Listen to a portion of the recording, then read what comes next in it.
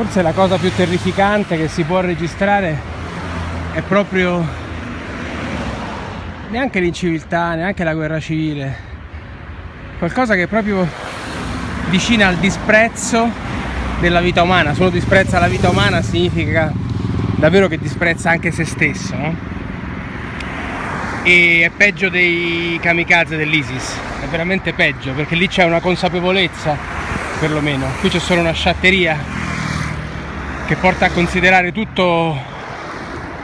affrontabile in maniera superficiale e nulla meritevole di un briciolo di attenzione, di un briciolo di approfondimento, anche se questo porta la morte dei propri simili. Oggi, dopo tanti giorni, finalmente c'è stata una svolta sulle indagini del grave incidente a piazza a Largo Gulamalfa, sopra il Circo Massimo, che ha visto eh, la morte di un eh, ragazzo di 31 anni. E oggi finalmente dicevamo sulla stampa c'è stata la svolta. Dopo tantissimi anni la stampa romana chissà perché qualcuno potrebbe dire influenzata dal nostro video che abbiamo fatto subito senza aspettare neanche neanche mh, mm, 24 eh, ore dall'incidente qualcuno potrebbe pensare influenzata da quello. Ma insomma sta di fatto che finalmente la stampa italiana, stampa cittadina si è resa conto che gli incidenti non li provoca solo chi cammina con la macchina ma li provoca anche chi sta fermo con la macchina se questo stare fermo comporta essere di ostacolo, di intralcio a chiudere le vie di fuga, a togliere la visibilità. Questo è successo, lo sappiamo ormai tutti e oggi finalmente i giornali lo riportano con chiarezza eh, qui al Circo Massimo eh, per colpa di auto parcheggiate male un ragazzo ha perso la vita si potrebbe pensare che almeno nei giorni così successivi al fatto delittuoso, al lutto, qualcuno avesse il buon senso, il buon cuore, la dignità di evitare di ripetere quell'errore e invece come potete vedere la situazione è questa. Le strisce blu finiscono in questo punto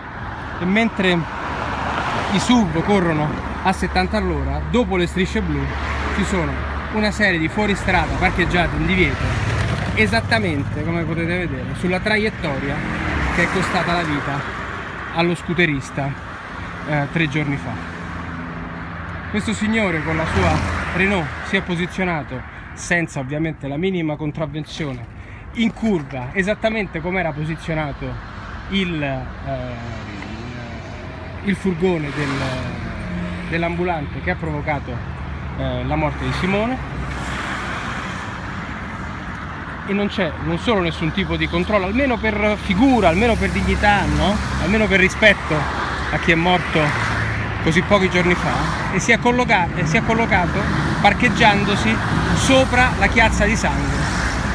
che è uscita probabilmente dal corpo, dalla testa della vittima. Questo è peggio di qualsiasi cosa, è peggio di qualsiasi tipo di terrorismo, è peggio di qualsiasi tipo di meschinità, è peggio di qualsiasi tipo di guerra civile ed è ancora peggio pensare che questa persona lo faccia senza minimamente rendersi conto di cosa sta facendo. Perché chiaramente probabilmente una persona che non legge il giornale, una persona che non sa cosa è successo, una persona che non vive in una città, vive in un agglomerato di strade, di palazzi, di lamiere e di persone che è impossibile definire eh, città.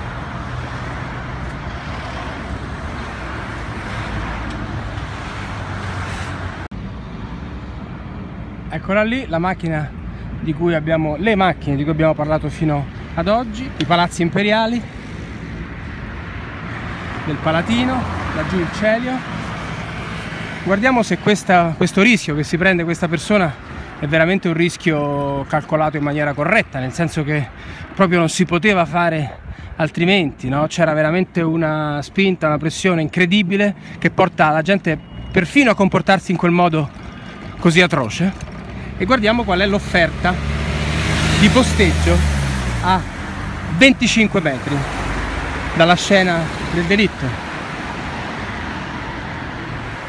Sono le 10 e mezzo di giovedì 14 gennaio. In questa zona come sempre è pieno di posteggi liberi. Decine e decine di posti auto liberi a voi i commenti anche in questo caso perché francamente abbiamo forse parlato anche, anche troppo.